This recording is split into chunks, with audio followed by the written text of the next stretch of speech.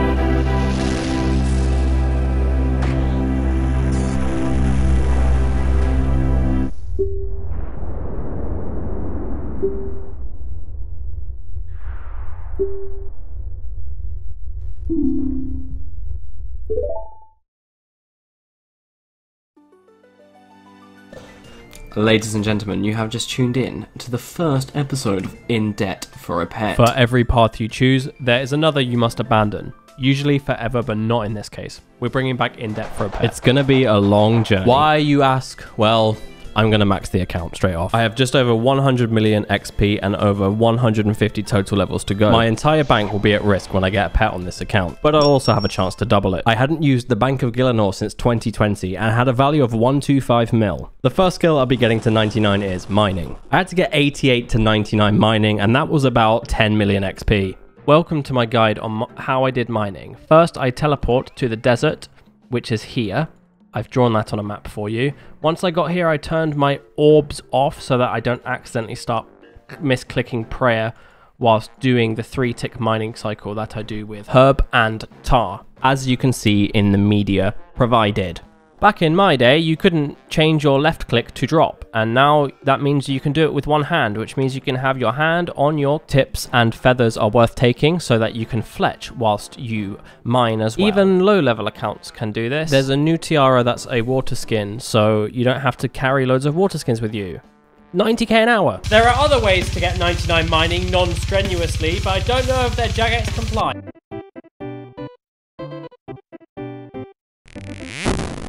Well, woodcutting was definitely the least strenuous skill I did. Didn't get a pet, but um, I had a very relaxing time cutting wood on my phone. The last time I maxed an account was in 2017, and let me tell you, uh, in terms of accessibility, it's become so much easier. Anyway, I have a message from Jagex Limited.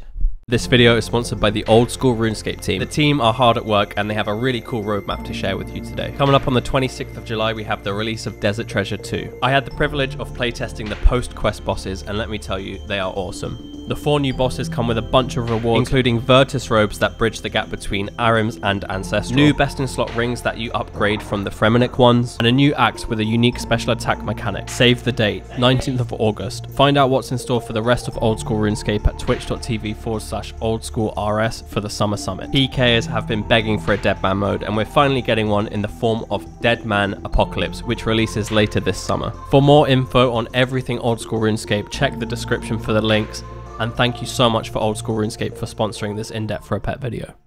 I got 99 woodcutting at Wintertodt, but I only got 95 fire making before I stopped doing fire making. I did 99 cooking whilst gaming on my main account. I did so much cooking XP and I didn't get the cooking pet. Maybe I'll get the fishing pet. I had to get 7 million fishing experience to finish 99 and I did 3 tick cut eating barbarian fishing which I found to be very enjoyable. Rather strenuous at times but no strain, no gain. To relieve some strain I e-dated various members of the community at Tempoross. Aside from kittens I didn't get any pets here. Here's the loot from 500 Tempoross. Next up was Hunter, Agility, and Thieving, and conveniently Jagex released a quest that gave XP in all three, so I did Secrets of the North. I splashed about 35 mil on smithing, and I did not get a smithing pet, but I got 99, and that was another buyable out of the way and done. Now I needed to make some money back, so I decided to do that in the form of agility at Sepulchre, and I made a lot of money, but something got in the way.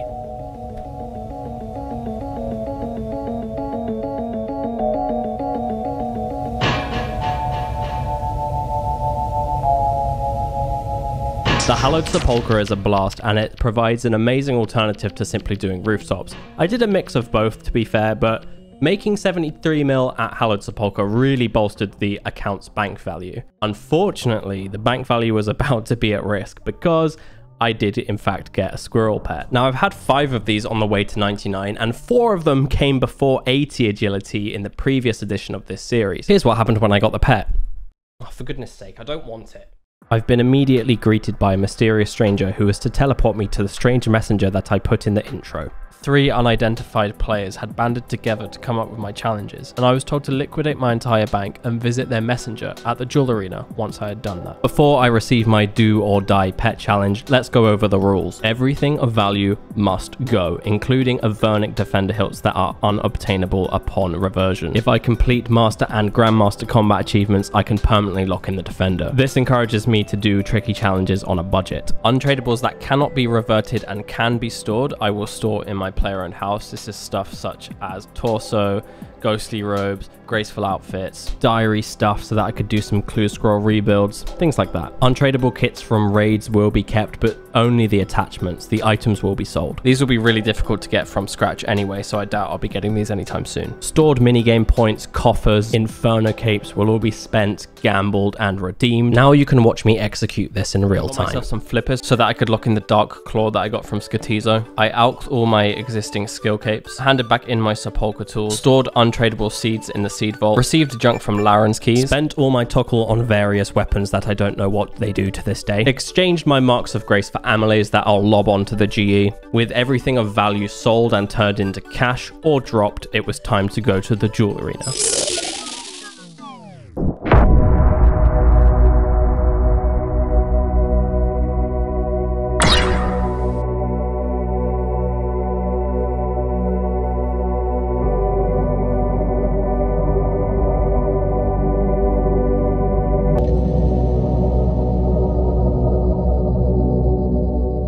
Welcome to In Debt for a Pet. Your first pet challenge is akin to your max grind. You must catch 18,500 black chinchompas in the wilderness with your entire cash stack at risk in your inventory. 10% of this may be used for gear and supplies. You may not bank any of the chinchompas or gold pieces.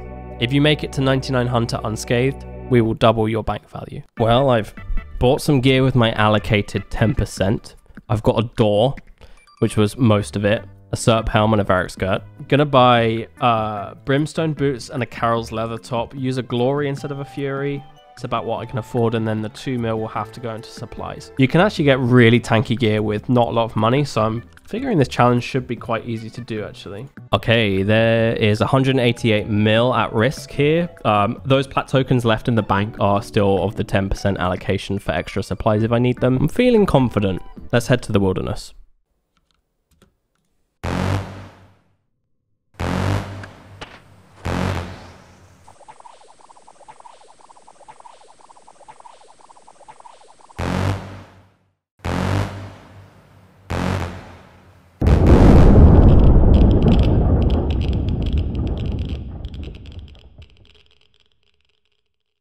Ah, Hunter. RuneScape's most polarizing skill in my opinion. It's personally one of my favorites, but it could soon be my least favorite. I'm gonna need to be incredibly efficient to get the job done here without dying. Honestly, I don't think I've ever been such a simp for the use of plugins here, but they're pretty nice. It's nice to have tile markers and highlighters on so that you can click underneath the trap instead of on the trap if you're one tick trap resetting. Oh my god, I'm scared that this challenge is going to be a complete bore because I've not seen anyone in an entire hunter level. Okay, well I've spoken too soon, but the state of this guy, I think he's just going to give up. There's quite a lot of traffic coming in from the new wilderness bosses. Oh my god, this guy's an absolute raid boss. So far, the only people interested in me seem to be these guys. I mean, he's risking a freaking ballista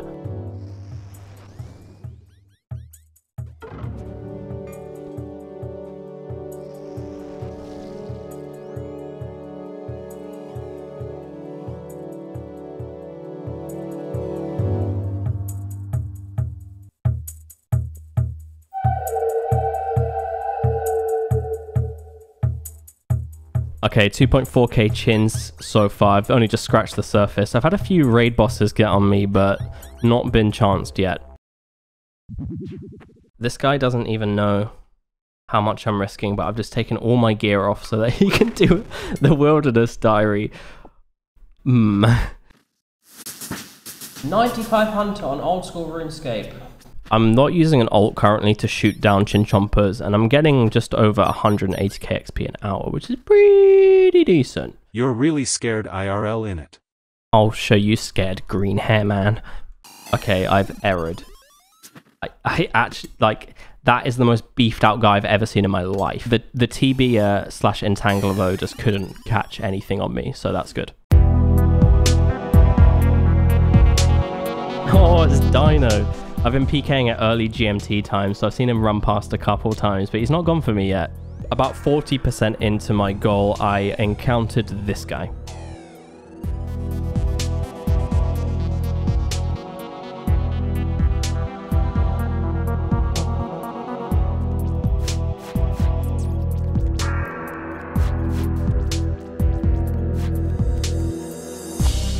Oh god, I'm pretty lucky that was a half TB, not gonna lie. I am full TB'd here, and honestly, I don't know what to do. He's absolutely destroying me.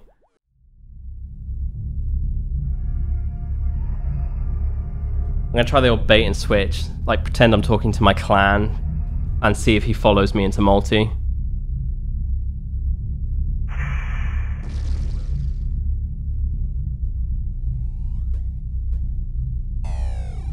It was at this moment that he knew.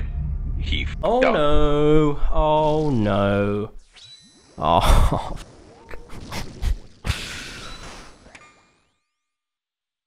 it's ogre. I failed. I've actually failed. I I should have tried to tank him in singles. I don't know what I was thinking there. He's outplayed me. Guess we're rebuilding.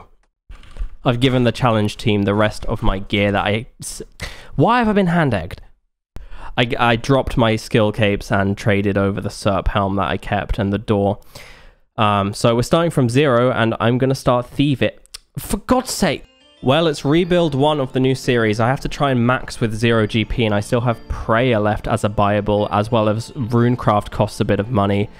Uh, the rest of the skills that I can make money doing, so hopefully I make enough from those skills so that I can funnel it into Prayer. Prayer is going to cost about 27 mil, and I think 97 to 99 Hunter will make me about 30. Alright guys, I have a plan with this 1200 GP, not the hand egg. We're going to get a Wintertodt set up with that gold, and I will fire make until a 200k bank. I've got some untradeable Pyromancer pieces stored in the. The Tombs of Amascut are ruining my seed prices. I'm being resourceful and using these swordfish I got as reward as food instead of wines. Bruv, that is huge. 24 burnt pages is like 80k. Alright, I've made my first 100k and I'm going to spend it on a construction cape. The con cape gives me unlimited access to my POH, which means I can loot, restore, and subdue the Wintertodt efficiently. I got full pyromancer achieved at level 97 firemaking. After a couple of hours of Wintertodt after buying my construction cape, I made 609 GP, which I would funnel into hunter gear. I am physically and mentally drained as well as scarred, but I'm gonna go back to Black Chinchompas. Yeah, I know. It's actually insane how far 500k stretches when it comes to buying defensive gear. Barrows pieces are really cheap now, so rebuilding up Black Chins is going to be a pretty easy feat. I mean, this time I can actually bank the Chinchompas and sell them for GP that I need for prayer, so that's going to be really handy. All right, it's time to catch about 10,000 Black Chinchompas with this gear. Should be pretty easy.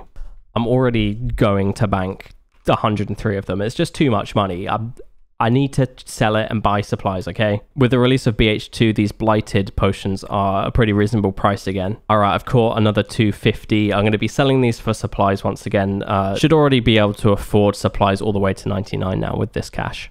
When I was tired of hunting, I would click Knight for gold piece and Thief XP. I've been able to upgrade to a Blessed Spirit Shield and a Verac Skirt doing so. I'm actually really going to miss Hunter post 99. It'll be a valuable rebuild skill though, because I still don't have the pet. 2 million gold worth of black chins to sell here. I'm going to buy an Amulet of Fury with this GP, and that will probably be the last of my upgrades. Why couldn't I have people attack me like this when I was doing the challenge? He's using a whip, for God's sake.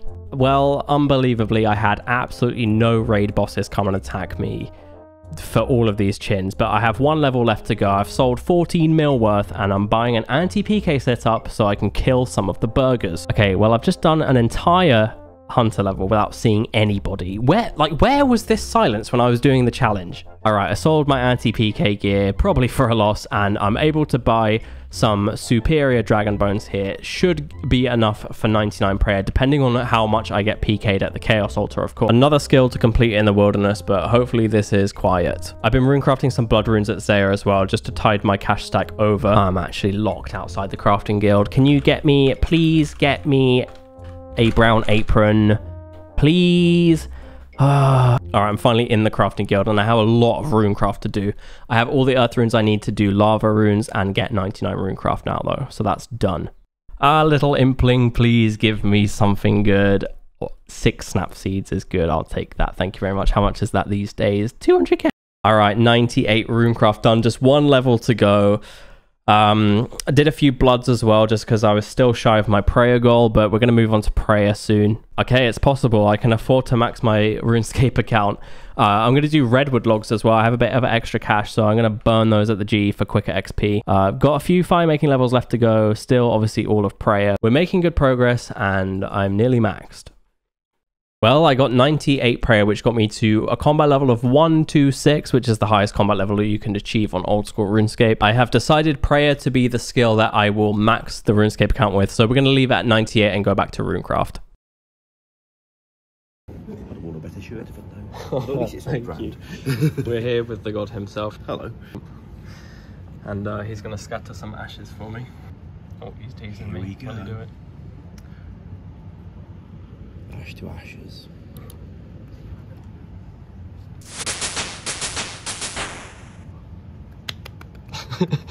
Guys, thank you so much for watching this in debt for a pet video. It's good to bring the series back, and I am so happy with the way that I was able to max the account. The god himself has maxed the RuneScape account. Thank you so much for watching the reboot of my series, guys.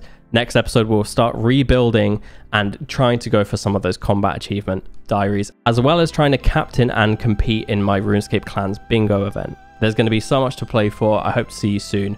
Subscribe to the channel, give the video a thumbs up, and I don't know, leave a comment about how many people exist on Earth or something. I don't know what the meta is. Let me know your days. favorite genre of cat and dog. Please tell me your favorite yogurt brand. Let me know your thoughts on sparkling water. What are your thoughts on lawnmowers? Do you play golf? Are sperm cramps a real thing? Just leave a comment. Who came?